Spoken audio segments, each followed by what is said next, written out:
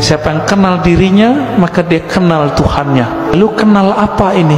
Kenal yang mana ini? Bukan yang jasad ini. Sebelum kita masuk ke tubuh ini, kita punya nama. Kita lahir di dunia, yang ngasih nama siapa? Orang tua. Sebelum kita masuk ke dunia ini, kita di alam ruh.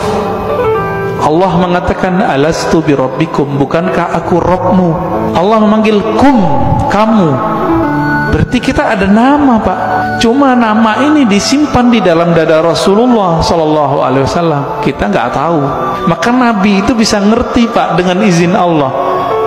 Ada orang nih jihad kayaknya paling kuat kayaknya paling banyak bunuh musuh.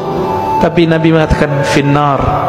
Masuk neraka. Kenapa? Nabi tahu namanya sudah ada di neraka. Ternyata benar orang ini beramal cuma dengan fisiknya, ruhnya tidak beramal.